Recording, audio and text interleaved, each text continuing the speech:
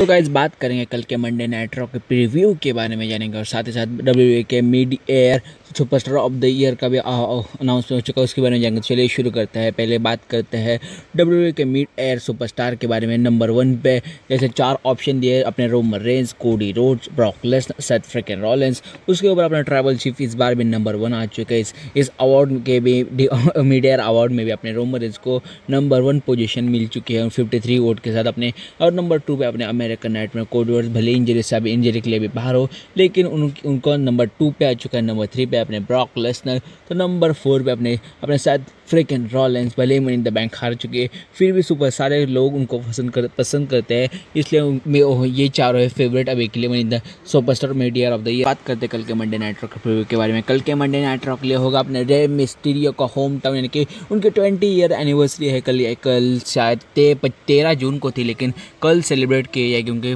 Twenty year anniversary उनके home town उनके home town city के साथ उनका मैच होने वाला था रे मिस्टीरियो अपने डोमिनिक वेस्टर वर्सेस अपने जजमेंट डे के लीडर एज अफसर सर फिन बैलर और डेमियन पीस के साथ। और साथ ही साथ कल के मंडे नाइट में लोगन पॉल और द मीज एक एक दूसरे के आमने सामने आ सकते हैं। अगर लोगन पॉल कल के मंडे नाइट में होते हैं तो फॉर श्योर लगता है कल के मंडे नाइट में होंगे, क्योंकि जिस तरह से उन्हें अपने कॉन्ट्रैक्ट साइन करने के बाद जो उन्हें मीज को जो वार्निंग दिए उसके बाद मुझे लगता है कि लोगन पॉल कल के मंडे नाइट में होंगे, और शायद फेस टू फेस आएँगे लोगन पॉल और द मीज क्योंकि उनका मैच है सेटअप हो चुका है समर स्लैम के लिए, अब इसलिए मुझे लगता है ये दोनों सुपरस्टार होंगे और शायद अगर बात करें तो सेथ लॉन्स भी होंगे कल के मंडे नाइट रॉक के लिए। उनका रिएक्शन एकदम तगड़ा होगा, आएगा कल के मंडे नाइट रॉक के साथ। साथ साथ अपने ऑस्टिन थ्री भी कल के मंडे नाइट रॉक में, और भी सेलिब्रेट करेंगे अपने मिन बैंक जीतने की खुशी में। समी विंस मैकमैन भी आ सकते कल के मंडे नाइट रॉक के लिए। ऐसा कुछ ज़्यादा कुछ एडवर्टाइज नहीं है।